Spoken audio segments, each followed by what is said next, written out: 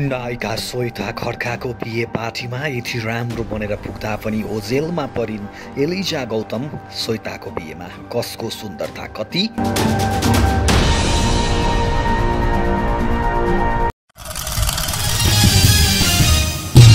नमस्कार तपाईँलाई हिट नेपालमा धेरै धेरै स्वागत छ। आदरणीय दर्शकबिन हिट नेपालले तपाईँलाई नायिका श्वेता खड्काको बिए पार्टीको कभरेजहरू निरन्तर रूपमा देखाइरहेको छ र आज पनि तपाईँलाई हामी नायिका श्वेता खड्काको बिए पार्टीमा देखिएका केही यस्ता समारोहका कुराहरू जहाँ केही चर्चा भए केही चर्चा हुन पाएनन् र त्यसमा चर्चा नभएका केही विषयवस्तुहरू यहाँ प्रस्तुत गर्दैछौँ।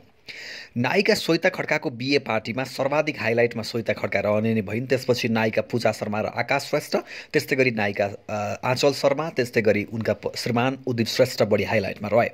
तर तपाईँलाई थाहा छ यो पार्टीमा पुगेका केही नायिकाहरू निकै नै आकर्षक बनेका थिए। उनीहरूको पहिरन निकै नै गजब थियो तर पनि उनीहरू चर्चामा भने रहन पाएनन्। सबैभन्दा पहिले तपाईँलाई हामी यहाँ देखाउँदैछौँ नायिका तथा मोडल एलिजा गौतमको।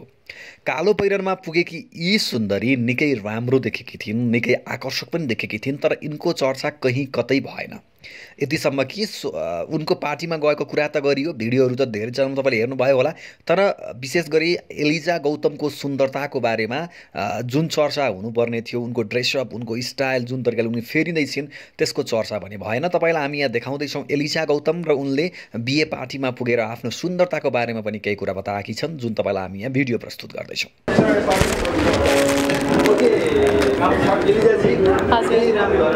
थ्याङ्क यू एक घन्टा। एक घन्टा। हजुर।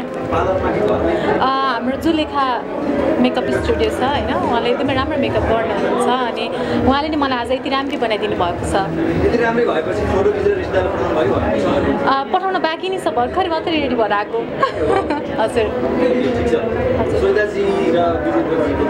हजुर। हजुर एकदमै खुसी छु भेट्न पाएको छुइनँ भर्खर भेट्न आउँदैछु।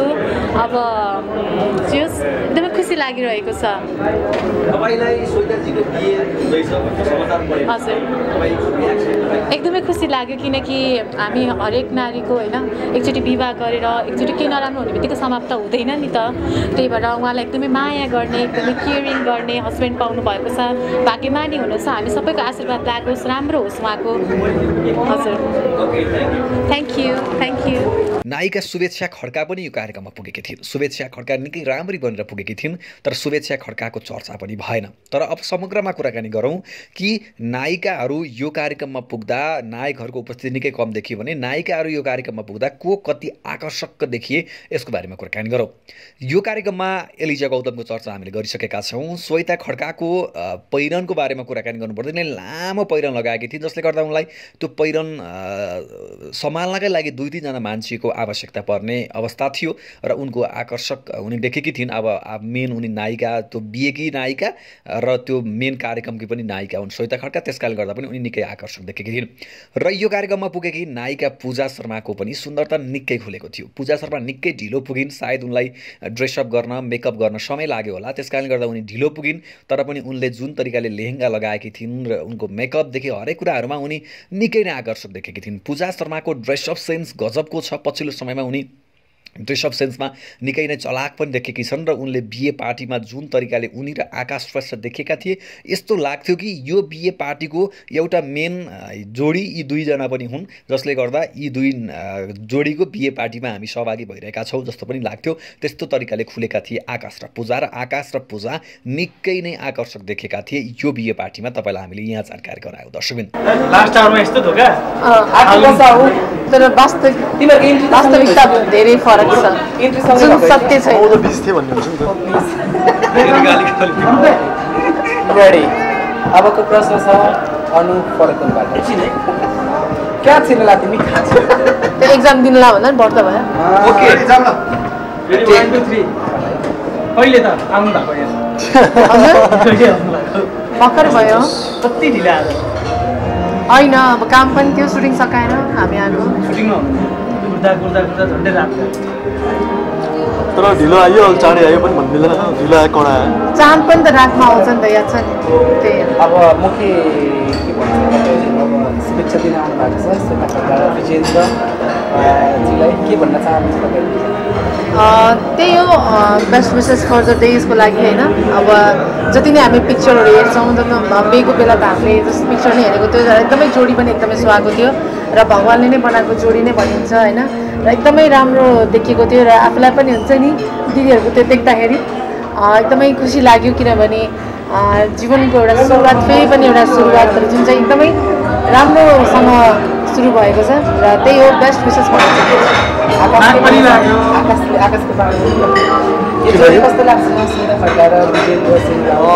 लाग्छ के भन्न चाहनुहुन्छ? मलाई एकदमै खुसी लागेको थियो किनकि अब हामी एउटै ठाउँमा जिम गर्ने पनि भएको कारणले गर्दा होइन?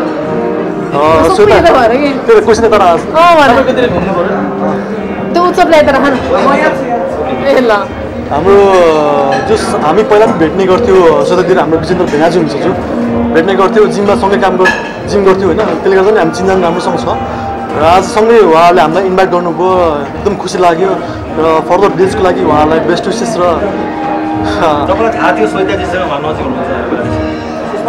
थाहा थिएन भन्नाले हामी रिसेन्टली नै हामी जिममा सँगै जिम गर्थ्यौँ होइन।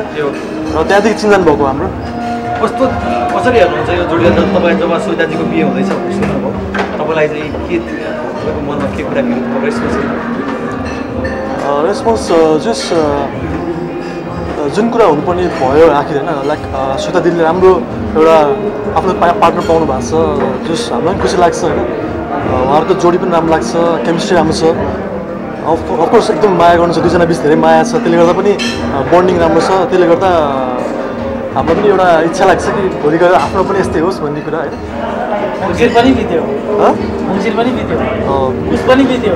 माघ बित्नेवाला नै छ। माघ फागुन फागुनमा हल्ला सुनिरहेको छौँ हामीले। लगन छैन। फागुनमा पनि वैशाख छैन वैशाखपछि वैशाखमा। के छ त?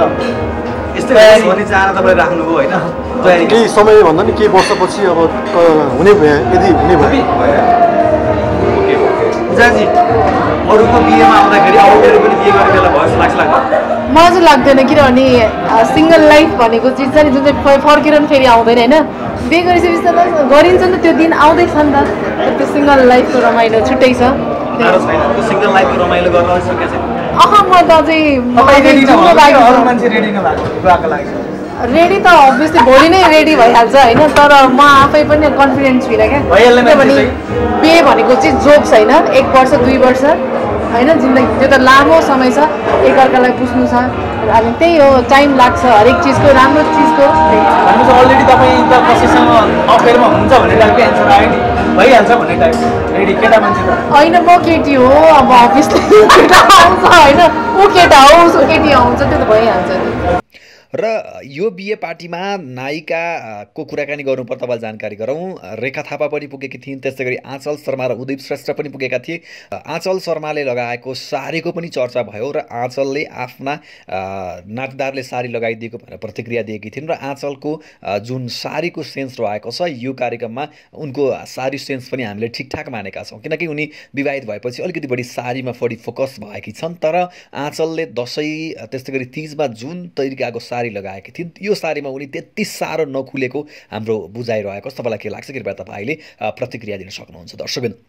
नायिका श्वेता खड्काको बिहे पार्टीमा नायिकाहरूको उपस्थिति निकै कम देखियो। तपाईँलाई हामी जानकारी गराइसकेका छौँ र जतिजना नायिकाहरू पुगे ती नायिकाहरूमा एलिजा गौतम त्यस्तै गरी आँचल शर्मा पूजा शर्मा रेखा थापा त्यस्तै गरी शुभेच्छा खड्का लगायतको उपस्थितिले विशेष समारोह अलिकति गर्मिलो भन्यो तर जुन एक्सपेक्ट थियो धेरै नायिकाहरू आउँछन् होला भन्ने त्यो खालको एक्सपेक्ट निकै कम मिट भयो र नायिका करिश्मा मानन्दर जो सारी लगाएर पुगेकी थिइन् र करिश्मा मानन्दरको बिहे पार्टीमा जुन उपस्थित छ करिश्मा अलिकति मोटाएको जस्तो फिल भएको छ हामीलाई सायद करिश्माले पनि अलिकति यो लकडाउनले गर्दाखेरि त्यो अवस्था आएको हुनसक्छ करिश्मा अलिकति मोटाएकी छन् र करिश्माकी छोरी कविता मानन्दर कुनै पनि खालको प्रतिक्रिया दिनन्। सायद उनको चलचित्र एउटा यस्तो प्रेम कहानी रिलिज भएको थियो र फिल्म आएको र गएको थाहा नभएको अवस्थामा कवितालाई सायद मिडियाले ती प्रश्नहरू सोध्छन् भन्ने एक प्रकारको भय हुनुपर्छ।